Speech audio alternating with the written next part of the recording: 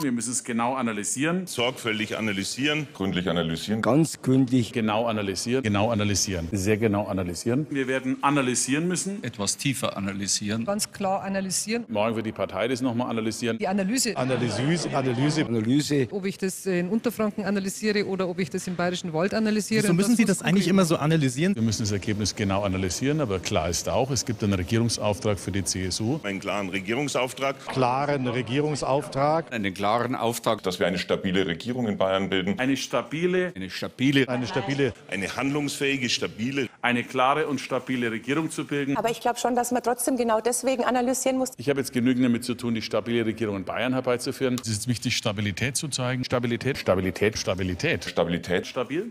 Es ist jetzt wichtig, einfach auch nach vorne zu schauen. Nach vorne zu schauen, nach vorne schauen. Das ist schmerzlich. Aber meine Präferenz ist klar ein bürgerliches Bündnis. eine klare Präferenz für ein bürgerliches Bündnis, Aber doch diese klare Präferenz für eine bürgerliche Politik. klare Präferenz für eine bürgerliche Regierung. Aber meine Präferenz wäre eher bürgerlich. Jawohl.